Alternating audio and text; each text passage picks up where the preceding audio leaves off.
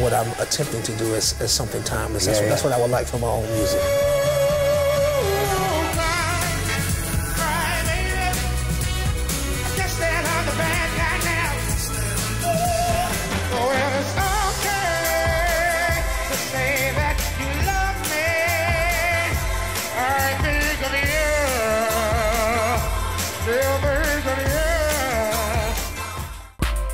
Beleef CeeLo Green live op Couleur Café van 28 tot 30 juni in Tour en Taxis in Brussel.